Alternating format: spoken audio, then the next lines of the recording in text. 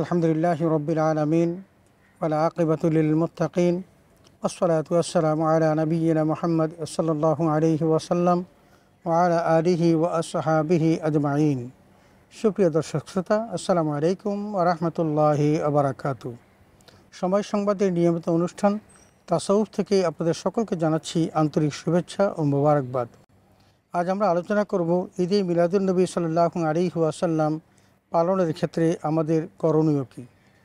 আমরা বিষয়টিকে বোধগম্য করার জন্য ভূমিকার পাশাপাশি দুটো সাবহেড দিয়েছি। তোর মধ্যে একটি হলো ঈদে মিলাদুলনবীর গুরুত্ব আর দ্বিতীয়টি হলো ঈদে মিলাদুলনবীতে করণীয় কী?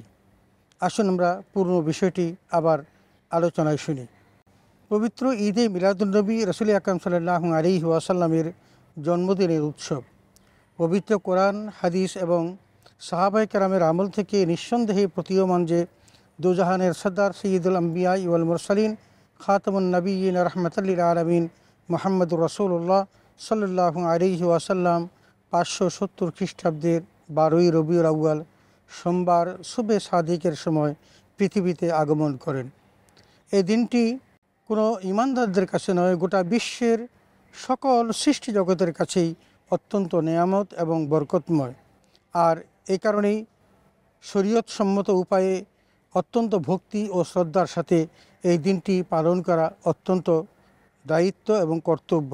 পবিত্র ঈদে মিরাদুলনবী রাসুল আকরম সাল্লাহ আলী ওয়াসাল্লামের প্রতি অকৃত্রিম ভালোবাসা প্রদর্শনের একমাত্র মাধ্যম। আল্লাহ রব্বুল আলমিনের ভালোবাসা পেতে হলেও রসুল আকরম সাল্লাহ আলী আসাল্লামের অনুসরণ আবশ্যক।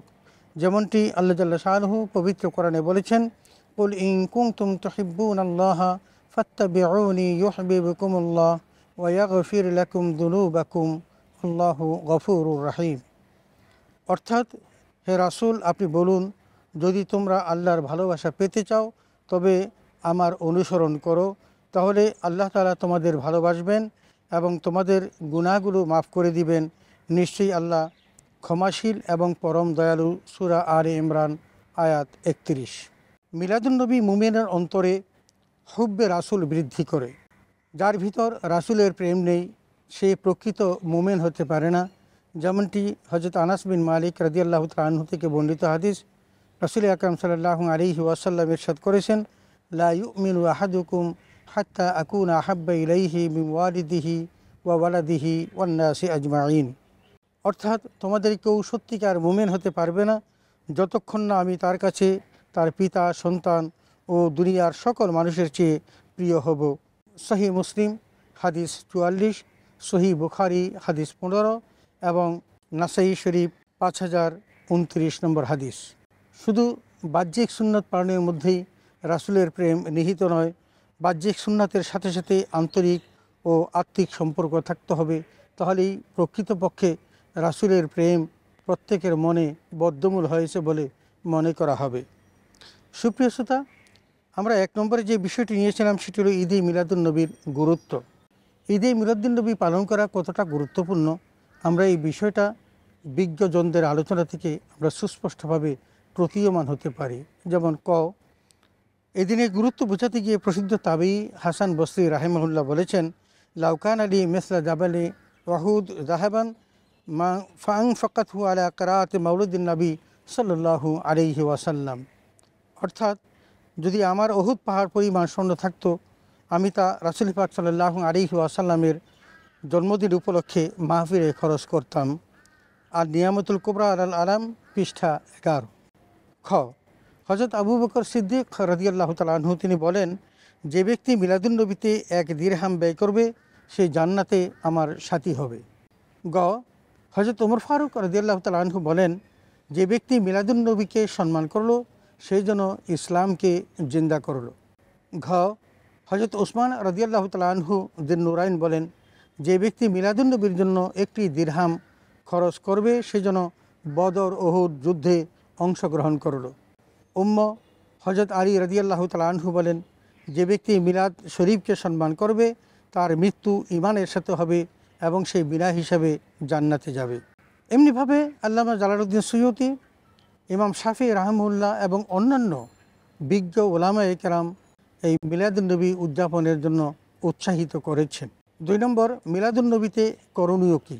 সুপ্রিয় শ্রোতা, নবীজির জন্মদিনে আনন্দিত হওয়া মুমিনের কর্তব্য এবং বৈশিষ্ট্য যেমনটি আল্লাহ রব্বুল আলমিন পবিত্র কোরআনে এরশাদ করেছেন, কুল বিফাদুল্লাহি অবি রহমাতিহি ফাবিদা আলিকা ফালিয়াফরাহু, হুয়া খৈরুম মিম্মা ইয়াজমাউন।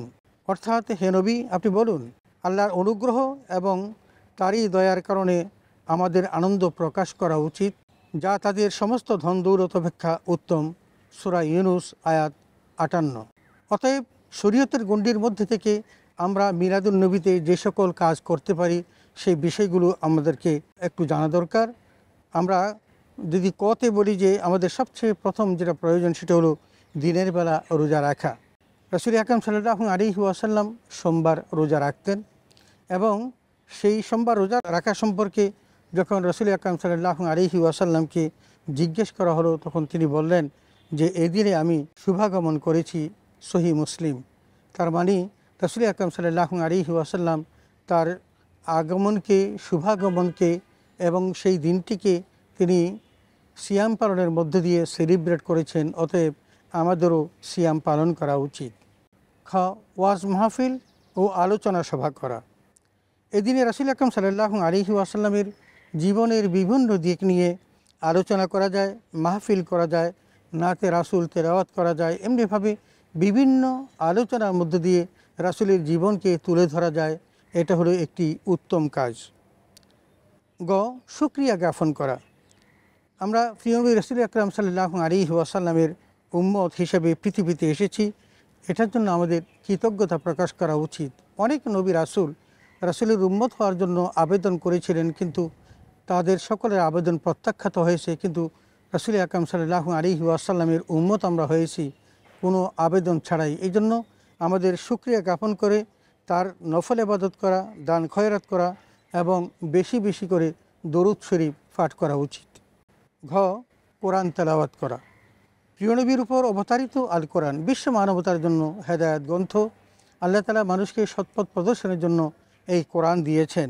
এই কোরআন সঠিক পথে দীক্ষা দিয়েছে এবং আমাদেরকে এই কোরআন বেশি বেশি করে পড়ার জন্য রসুল আকরম সাল্লাহ আলহি আসাল্লাম নির্দেশ দিয়েছেন। রাসুল বলেছেন আফদুল ইবাদতে তিলাওয়াতির কোরআন উত্তম ইবাদত হলো কোরআন তেলাওয়াত করা। অন্যত্র বলেছেন, ইকরাইল কোরআন, ফাইন্নাহু ইয়াতি ইয়াউমাল কিয়ামতে শাফি আনলে আসহাবিহি তোমরা কোরআন পড়ো, কারণ কেয়ামতের দিন যারা কোরআন পড়বে, কোরআন তার সাথীকে সুপারিশ করে জান্নাতে নিয়ে যাবে। অতএব রসুল আকরম সাল্লাহ আলী আসাল্লামের এই জন্ম উৎসবকে ঈদে মিলাদুলনবীকে আমাদের পালন করা উচিত, আমাদের মনে রাখা উচিত। মক্কার শ্রেষ্ঠ কাফির মুশিক আবুল আহাব রসুল আকরম সাল্লাহ আলী আসাল্লামের জন্ম উপলক্ষে খুশি হয়ে তিনি তার দাসী সুয়াইবাকে আজাদ করে দিয়েছিলেন। আর সে কারণে আল্লাহ রব্বুল আলমিন সোমবার তার বছরে তার একদিন রাসুল আকরম ইসলামের জন্মের দিন তার আজাবকে হালকা করা হয়। অতএব আমরা যদি রসুল আকরম ইসলামের উচ্ছেষ্ঠ উন্মত হওয়ার পর আমরা যদি তার এই জন্মদিনকে পালন করি, কোরআন তেলাওয়াত করি, রাসুলের জীবনী আমরা পাঠ করি এবং রাসুলের জীবনের বিভিন্ন অংশ আমরা যদি তুলে ধরতে পারি, তাহলে আমরা নিশ্চিত জাহান্নাম থেকে মুক্তি পাব। আল্লাহ তালা আমাদেরকে জান্নাত দিবেন। আল্লাহ তালা আমাদের সকলকে রসুল আকরাম সাল্লাহ আলিহি ওয়াসাল্লামের এই জন্ম উৎসব ঈদ মিলাদিন নবীকে সুন্দরভাবে উদযাপন করার তৌফিক দান করুন, আমিন। ওয়াকের দাওয়ান আলহামদুলিল্লাহ রবিল আলমিন। আসসালামু আলাইকুম রহমতুল্লাহ আবরাকাতু